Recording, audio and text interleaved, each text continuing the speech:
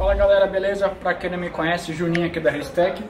E hoje a gente vai retomar aí, né? A gente fez bastante vídeo mostrando nossos carros na pista, soltamos bastante material assim. E vamos retomar um pouco desse assunto que a gente chama como, entre aspas, didático. E hoje o que, que a gente vai falar? É, fizemos algum tempo, acho que duas semanas atrás, uma enquete aí nos comentários, é, pedindo pro pessoal, assim, o, o comentário que tivesse mais curtida seria o que a gente ia gravar um vídeo. E por incrível que pareça, o que, que o pessoal quer ver? Carburadora. Falar um pouquinho sobre o kit carburado, né? É, então o que, que eu vou trazer para vocês? Algumas particularidades que a gente tem na hora de montar um carburador, é a parte de acerto de um carro carburado, alguns cuidados que eu considero é, essenciais, né? Para você ter um carro tão assim, né, usável, um carro bom de usar, e também, claro, o carro durável, que não quebre. Qual que é a maior dificuldade no caso de um carburador, né? É, a gente falando hoje em injeção eletrônica programável, é aquilo que eu falo, você consegue ir na parte do acerto, principalmente, claro, de combustível, exatamente no ponto que você precisa. Se você precisa de mais ou menos combustível a, a 3.000 RPM, com 0,3 de pressão de turbo, você consegue ir naquele ponto e alterar a mistura do carro. No caso do carburador, é claro que não. A gente tem o primeiro estágio do carburador e o segundo estágio, né? Então você vai determinar ali tamanho de giclê, tamanho de caneta, é, se usa econostat, se não usa, como que vai ser toda essa parte de funcionamento da parte de injeção, né? Que a gente fala que seria a parte de combustível do carro. Então aqui a gente tem algumas coisas que compõem um kit carburado, a mufla, né? Que é quem vai, obviamente, pressurizar aqui o carburador um dosador HP, que é para quem assistiu o vídeo aí sobre dosadores, a gente indicou o HP para caso de carros carburados.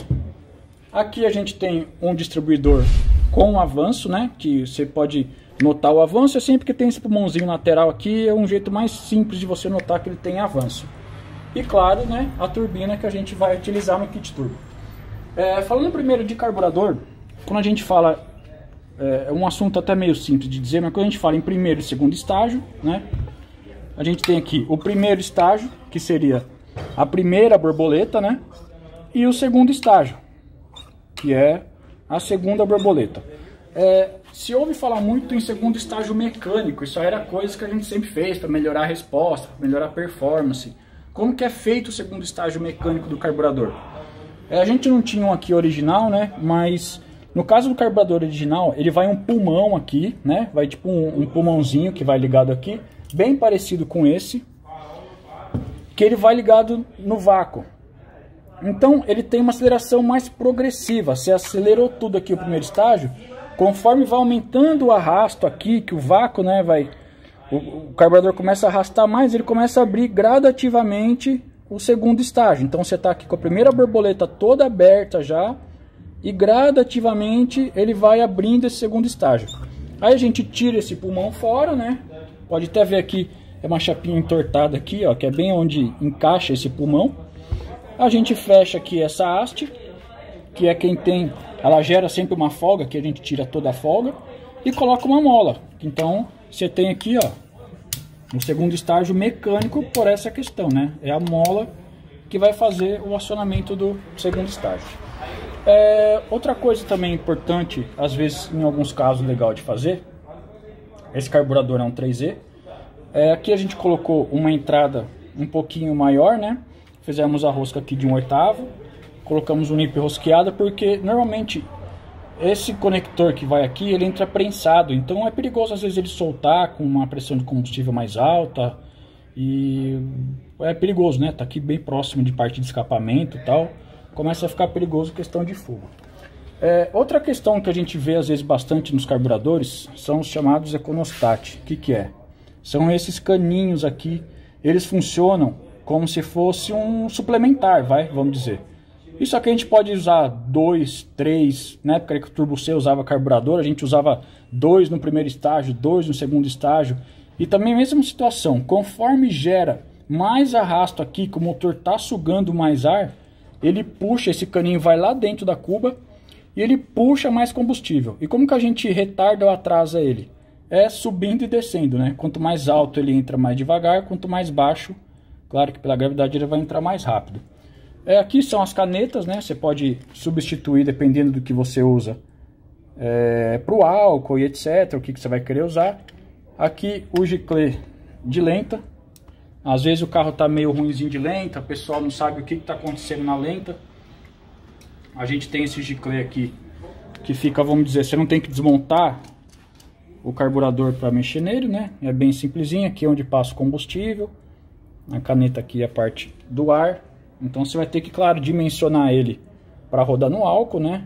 E de acordo com o que você precisa. E é onde suja muito aí. Quem nunca tirou esse giclê aqui para para dar uma sopradinha quando o carro morria, não é da, da velha guarda dos turbos. É, vou mostrar aqui a parte interna. É, e aí, tendo o carburador desmontado aqui, a gente tem a parte interna, né? Uma coisa que você vai ter que aumentar é o injetor. Bengala, cada um fala de uma maneira que quiser. Ele entra ó, bem prensado aqui, ó. Você vê que ele vai saindo.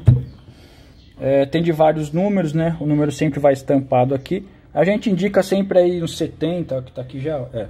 A gente indica para o álcool normalmente 60, 70 isso aqui ele equivale ao quê? Aceleração rápida, né? Quando a gente fala em rápida na, na injeção eletrônica, que é aquele primeiro toque no acelerador, é quem faz essa parte é o injetorzinho aqui. Ele vai, como você vê aqui, ó, prensadinho aqui dentro. E aqui o diafragma que faz esse acionamento dele, né? Você vê quando você dá o primeiro toque aqui, ó. Ele aciona aqui e faz toda a parte da injeção rápida.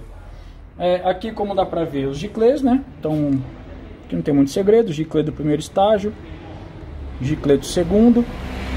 Aqui os canos do econostat, se você acompanhar aqui, ó, eles daqui, vem aqui, é ele que suga esse combustível que eu falei. Muito cuidado com boia, tem que ser boia de marca boa, tentar achar a marca Brosol, porque no turbo ela tende a furar, derreter. Sujeira na agulha, agulha aqui, ó, é quem faz a vedação da pressão de combustível, né? Para a boia não ficar, não transbordar, ela que veda. Em alguns casos que a gente usa agulha maior ou usa uma pressão de combustível um pouco mais alta, a agulha tem essa dificuldade de vedar, então o carburador transborda. Aí tem as banhazinhas, a gente monta, ela vai uma arruelinha aqui, né, bem fininha assim. Às vezes a gente tem que montar com uma arruela um pouquinho maior ou com duas arruelas para a gente descer ela um pouco para diminuir essa altura na cuba.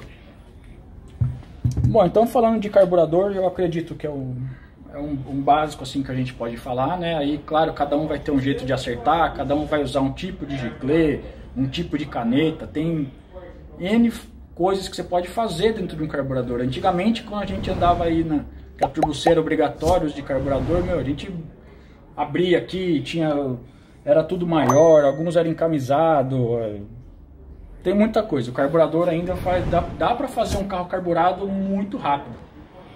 A dificuldade é ficar toda hora, abre e fecha, né? Hoje em dia a gente põe o computador lá, aperta os botões, é muito mais fácil.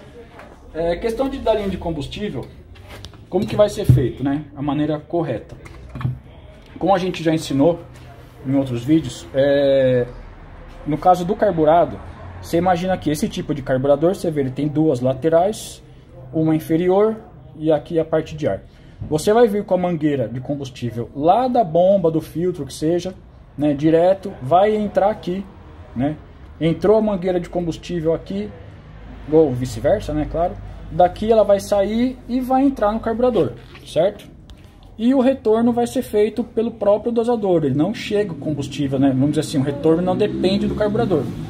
Vai ser feita a circulação aqui dentro e a membrana vai regular essa parte aqui de combustível. É, já na parte de regulagem de pressão, né, aqui a gente tem o parafuso de regulagem de pressão de combustível, que é essa, o parafusinho aqui que se regula né, a pressão inicial do carburador, né, da, da, pressão de combustível, e a regulagem de alta. Aqui você vai vir, da, vai sair da lateral da mufla uma mangueira de ar e vai entrar aqui direto no dosador. E aqui você faz essa regulagem do ar, né? O que, que é isso aqui? Você imagina que o ar entrando pressurizado aqui, ele vai pressurizar a membrana mais para baixo, fechando o retorno e assim aumentando a pressão de combustível. É, só que no caso do carburado, a gente não pode usar uma pressão muito alta por essa questão da boia que eu acabei de falar, boia, agulha. Então a gente sempre vai regular o carburador aí ele vai aceitar no máximo 0,5 de pressão inicial. Eu gosto de deixar entre 0,1 e 0,2 inicial a pressão. E a pressão que a gente vai regular de alta aqui, vai, vamos supor, você vai andar com 1 kg de pressão de turbo, eu gosto de deixar de combustível 1,8, no máximo 2 kg. E aí você vai fazer essa regulagem final aqui no dosador, né? É, falando agora um outro ponto que para mim é um dos mais importantes na questão do carburado. A maioria, claro, de um carro carburado vai ser um carro mais simples, então você vai usar pistão em biela original e você tem que tomar muito cuidado com a ignição. Se você manter a ignição como é original, você pode ter o perigo de trincar a canaleta, quebrar pistão e etc, por ter um excesso de avanço de ponto. É, como que funciona o distribuidor do carburado? Mesma situação, né? No original ele tem esse pulmãozinho que é para quê? Entra um vácuo aqui para diminuir o ponto na marcha lenta, para você ter uma marcha lenta mais suave, né? Quanto mais atrasado o ponto, para quem já viu também nosso vídeo aí ensinando sobre marcha lenta, a gente fala isso, quanto mais atrasado o ponto, mais quietinho você vai ter o motor, ele vai trabalhar numa condição mais estável, né? Então você vê aqui, ó, aqui a gente tem engrenagem, certo? Onde faz, é, onde vai ligado o distribuidor lá no motor. E você vê que ele tem, ó, aqui, isso é o avanço, ó. Eu tô segurando a engrenagem e eu tô avançando aqui, ó. Você tem a parte do avanço. E como que você vai regular esse avanço? É, no distribuidor do carburado ele tem essa tampinha lateral, certo? Você vai vir com uma fendinha aqui, você arranca essa tampa fora. É, e se a gente conseguir mostrar lá dentro, ele tem umas garras. Ó, essa garrinha aqui, ó. Tá vendo? Se você vê no original, essa garra, ela tá bem aberta. Porque ela vai determinar o quanto que a mesa lá dentro vai rodar. E a mesa, quanto mais ela rodar, mais ela avança. Você pega no caso do carro original, ele vai trabalhar inicial em torno de 9 graus de ponto, 9, 11, e vai avançar até 30, 33, né?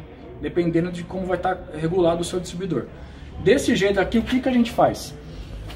O que, que você pode fazer? Usando o paquímetro, você pode pegar essa ponta aqui até aquela extremidade dele. Vamos supor, você vai medir a altura que você tem entre a, o, o dente lá, né, que a gente fala, até a base. E aí você vai fechar ele. A gente pega, e sempre muito cuidado que ele tem dois, ó. Você vê, ó, tem um de um lado aqui, certo? Você girou aqui metade, 180 graus, tem o outro lado. Então, os dois lados sempre fechar a mesma quantidade. Se você fechar eles total, né, até da batente lá, você vai travar o ponto. Aí você vai regular o carro lá inicial com, vamos por 22 graus, 20 graus. Você vai acelerar, ele não vai aumentar, né? Ele vai sempre ficar travado em 22 graus. Você fazendo esse trabalho aqui, vindo medindo essa janela, quanto você vai descer, você consegue ter uma regulagem um pouquinho de avanço. Vamos supor, ah, vou deixar com conseguir manter aqui 15 inicial e ele está avançando até 22. Aí eu acho que você consegue ter a baixa um pouco mais suave e você vai avançar, porque imagina, você original, ele tem 9. Se você subir, avança até 30, por exemplo. Se você subir ele para 15 inicial, pô, ele vai avançar para 40. Então tem mais cuidado. Então você fecha um pouquinho ali as garrinhas, vem medindo, põe no carro lá, acerta o ponto inicial com a pistola de ponta, ah, pô, deu 12. Acelera até uns 5 mil, vê quanto que ele avançou. Avançou muito, tira, Fecha mais um pouquinho até você chegar no ponto que você quer trabalhar no carro. É, uma recomendação, né, a gente falando no carro original, seria você trabalhar no máximo aí com uns 22 graus. É, isso no caso de um carro que vai dar um pouquinho acima de um quilo, para você ter um motor que vai, vai te durar bastante tempo e não vai ficar incomodando, né? Seja elétrico hoje? É segundo Bom, a gente está com o carro aqui do Gustavo. É, ele emprestou o carro pra gente aqui. Eu não achamos nenhum carro nosso aqui carburado que desse pra gente fazer agora, fazer esse vídeo. Esse carro é recém-montado, muito bem montado pelo pessoal da RBS lá. Dá pra ver bastante capricho na montagem. E dá pra ver um pouquinho, né, da parte, igual a gente mostrou toda a parte de funcionamento lá, como que você vai fazer o carburado. Aqui dá pra ter uma noção, igual eu mostrei a questão das mangueiras, né, você vê que é, não dá pra ver direito, mas aqui é a que vem do tanque aqui, aqui vai para o carburador. E aqui sim, então, para quem para quem briga comigo aí, ó, que reclama de kit padaria, eu acho que aqui não dá pra gente dizer que não é, né? Aqui é o mais básico de tudo, é ainda o carro carburado, é, não tem two-step, não tem corte nenhum, é um carro realmente completamente de rua. E isso não quer dizer que o cara não pode se divertir. Eu acho que fica um carro muito legal. Dei uma volta no carro, um carro muito gostoso de andar, redondinho, lisinho, tem uma resposta legal. Então você que tem um carburado aí, que ainda tem um carburadinho, sem dúvida pode ir na preparação dele, que também fica muito bacana.